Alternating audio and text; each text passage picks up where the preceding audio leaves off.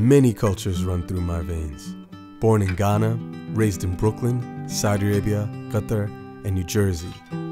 Educated at Harvard, traveled around the world with my music. My experiences gave me a voice to speak for those who need to be heard. I'm information.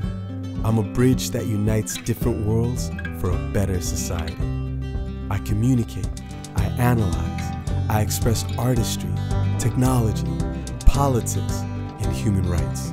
So some people who meet me are like, oh, you're like a journalist. I'm like, actually, I'm a musician. Musician. Actor. The power, the beauty, the sadness, and the wonder of the truth. Anchor.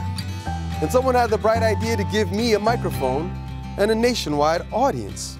Artist. Anybody step to the mic. We're interviews with like John Legend and John Forte and filmmakers and activists. Oh, wow. And just like, here's a new way to look at the world. And it blew up. Activist. All I know is people keep saying that we are the ones we've been waiting for. Well, I, for one, am tired of waiting. MC. What do we make of that? So, And when you speak about a world in which everything of importance is network, An entrepreneur. I'm Derrick Ashong. My friends call me